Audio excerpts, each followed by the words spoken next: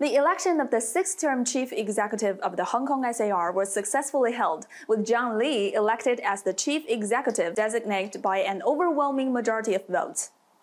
The election is the first Hong Kong SAR chief executive election held after Hong Kong's transition from chaos to order. It's of great significance and far-reaching influence and has drawn wide attention. Lee was elected with 99.16% of the votes, which fully reflects the high recognition he gained in Hong Kong society. His election visions and manifesto confront challenges head on and feature a targeted approach, which shows his commitment to reform and accountability, as well as his pragmatic and for the people attitude. The general public in Hong Kong has full trust in and high expectations on Lee, believing that he can recruit talent, achieve the goals with decisive administration, improve governance with an open mind, sincerely serve the public, and unite all sectors of society to write a new chapter. Throughout the whole process of the chief executive election, what people see are friendly dialogues and equal negotiation among all social sectors, are the candidate and all citizens planning for the future of Hong Kong. There was no longer wanton confrontation or arbitrary attacks and smears. The election is the true embodiment of the spirit of democracy and is a vivid depiction of the hardworking, resilience, and pioneering Lion Rock spirit that the Hong Kong citizens are so proud of. The chief executive election represented another successful practice of the Hong Kong SAR's new electoral system after the election committee elections last September and the election of the seventh term Legislative Council last December. The advantages and unique features of the new electoral system have been fully demonstrated. Broadly representative, politically inclusive, ensuring balanced representation, and guaranteeing fair competition. The new electoral system strictly implements the principle of patriots administering Hong Kong and is committed to the building and development of a high quality democracy with Hong Kong characteristics.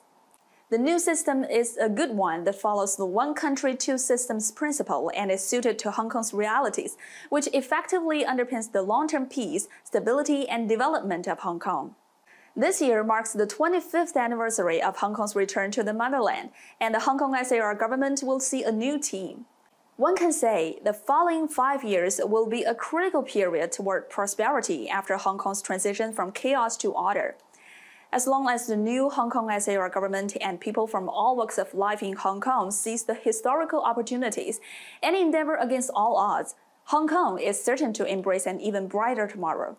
The Chinese central government unswervingly implements the principle of one country, two systems and opens up wider to the world. In this process, Hong Kong's unique status and functions are certain to be strengthened. After Hong Kong is back on the right track, it will play a bigger role as a market-based world-class business hub governed by the rule of law and supported by high-end talent.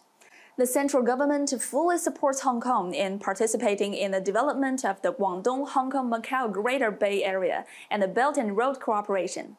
In the meantime, the country's 14th five-year plan specifically underscores the support for Hong Kong in elevating its position as an international center of finance, shipping and trade, and an international air traffic hub, among others. By integrating itself more into the overall national development, Hong Kong will see more space for development.